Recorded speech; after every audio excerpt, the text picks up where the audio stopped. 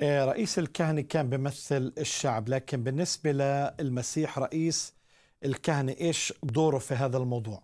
واحدة من وظائف ال- الرئيس الكهنة في العهد القديم كأنه يدخل أمام الله ويلبس ثياب البهاء وعلى هذا الثياب كان يوجد صدرة اسمها صدرة القضاء والصدرة لا تنزع من على الثياب أبدا.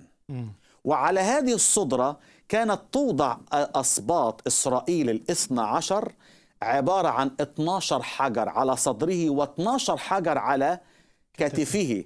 وعندما يدخل بهذه ال- ال- الصدرة كان ضوء نور حضرة الله يلمع على هذه الحجارة فهناك يفعل شيئا جميلا. قال عنه في خروج 12 28 وخروج آسف خروج 28 12 و28 عدد 30 قال يحمل أسماء بني إسرائيل على صدره ويحمل قضاءهم على قلبه. يحمل أسمائهم على صدره وعلى كتفه ويحمل قضاءهم على قلبه. إيه المعنى دوت في العهد الجديد؟ الرب يسوع المسيح الآن رئيس الكهنة يظهر أمام الله لأجلنا. ولا يحمل أسماء عائلتنا ولا يحمل أسماء أسرنا لكن يحمل كل مؤمن على قلبه وعلى كتفه. حب أو التعبير عبرانيين 9 24 يظهر الآن أمام وجه الله لأجلنا. فأنا موجود قدام الله يا أخ نزار وحضرتك.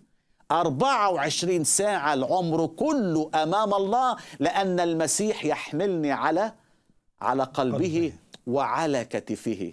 والشيء العجيب اللي بيعزيني ويعزي أحباء المشاهدين اللي شايل الفلك اللي شايل الفلك شايلني أنا كمان. حامل كل الأشياء. بكلمة قدراته اللي حامل كل الفلك شايلني أنا كمان. عجبني أول مرنم قديم قال واحملني سيدي أنت تحمل الفلك. واتي بي يا منقذي لحماك أنا لك. أنا محمول. أنا مرفوع. عشان كده أقدر أغني مع بولس وأقول من سيفصلنا عن محبة- محبة المسيح؟ أشد أم ضيق إلى آخره لأن رئيس الكهنة يحملني على قلبه ويحملني على كتفه. حتى الله قال أنا حملتكم في أشعية 46 فده يعني شيء عظيم جدا نكون محمولين. نعم. يعني امتياز رائع. يعني بيعطي آه، مواصفات لإلهنا غير الآلهة الأخرى الإله البعيد القاسي الظالم العنيف القاتل إلى آخره. لكن بيتكلم عن فكرة الحمل والعناية والاهتمام بالمؤمنين أيضا. آه، كنت اسمح لي أقول عفوا أخ نزار هذا الحمل والعناية والرعاية مؤسسة على الكفارة. طبعا.